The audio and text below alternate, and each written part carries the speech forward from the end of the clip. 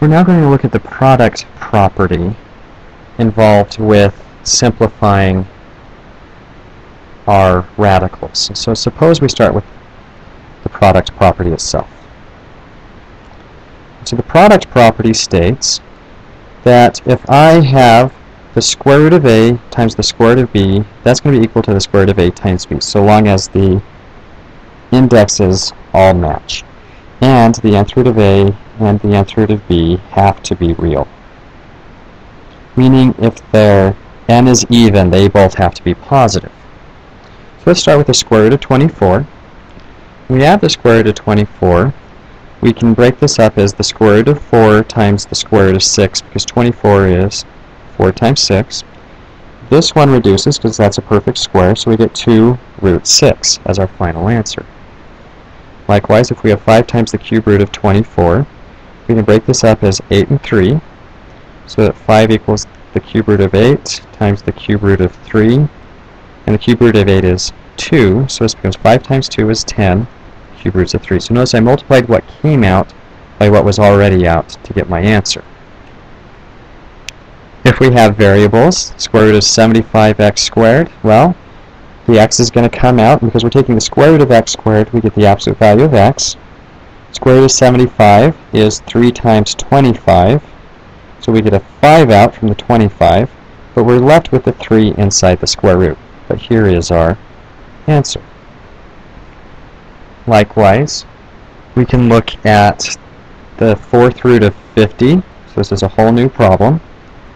And 50 is 5 times 10, which is 5 times 2. And since I'm looking for the fourth root, nothing gets to come out. So this is simplified.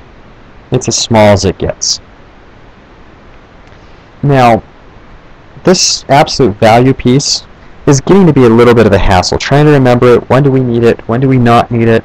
It would be really nice if we could ignore it. And there is one way we can ignore it. If we assume that all variables are greater than or equal to 0,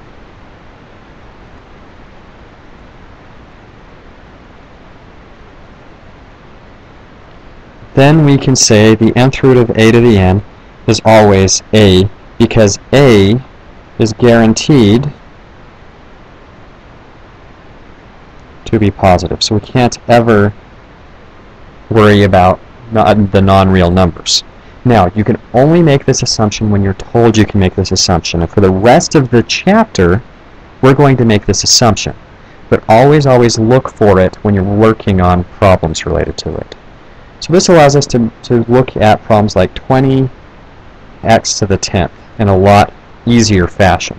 Because we can do the square root of 20 and the square root of x to the 10th. And when we have a this, this is just the same as 10 to the 5, 10 to the 5, 10 x times 10 over 2, which is x to the 5th. And I don't need absolute values because we're assuming that the variables are positive.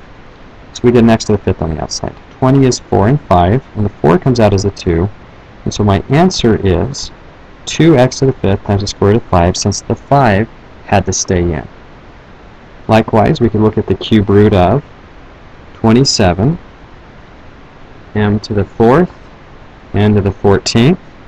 We're able to break this up into the cube root of 27 times the cube root of m to the 4th times the cube root of n to the 14th. We get to do something really cool here. This, of course, we have memorized. The cube root of 27 is 3. This becomes m to the 4 thirds, which is m to the 1 and 1 third, which says a single m comes out, but we leave a single m inside.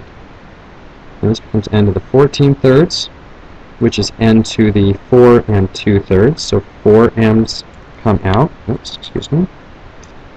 And 2 n's stay inside. So my answer is 3m n to the 4th cube roots of mn squared. Now when you're dealing with nth roots, one of the really cool things you can look at is your powers inside always have to be smaller than the root when you're looking at variables. It makes it very easy to see if you should keep pulling them out.